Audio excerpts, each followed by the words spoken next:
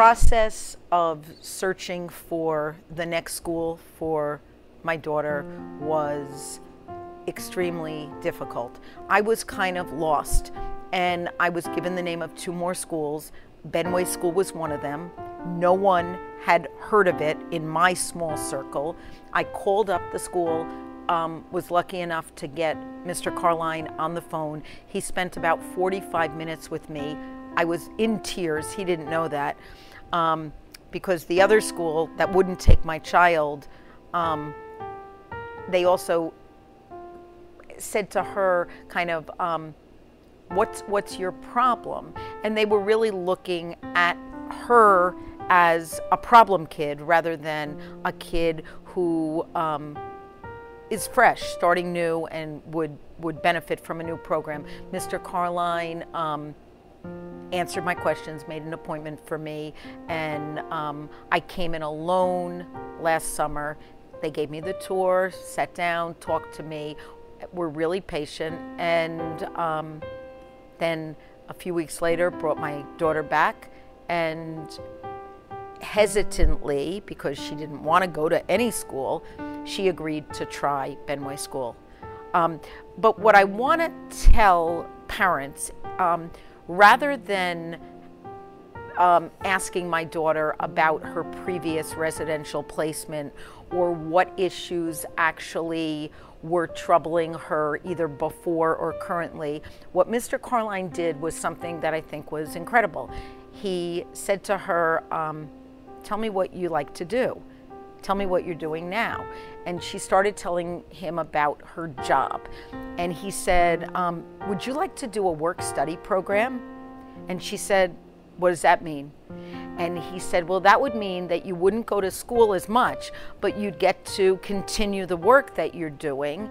Um, and we could have that fit into your schedule. And her whole demeanor changed. Her face lit up.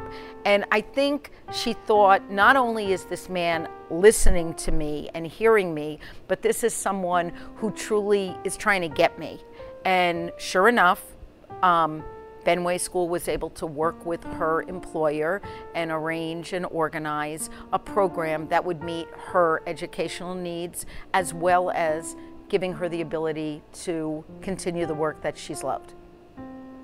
Um, as a parent and as a teacher, what I'd like to tell parents is even if your search is going to be done yourself without the help of other people, really um, don't choose the first school that might be recommended to you. Really look to try to match your child and where they are to an atmosphere that's open, welcoming, showing respect, and might not have the therapeutic. Um, elements that some of these other places have, but in reality, they have them all. What, what I said to Ms. Bourne was, you don't say that you have a family therapy program, but in reality, you've been responsive every time I've called the school to question or ask um, information or provide information about my kid. So, isn't that a family program if you're responsive? Um, Julia is speaking to her counselor whenever it's necessary. That you say that it's once a week, it's been more than once a week. So, what I want parents to realize is that some of these schools might present a structure and um, your kid might not really need that structure. You want to look for a school that is open to structuring a program around what your child needs.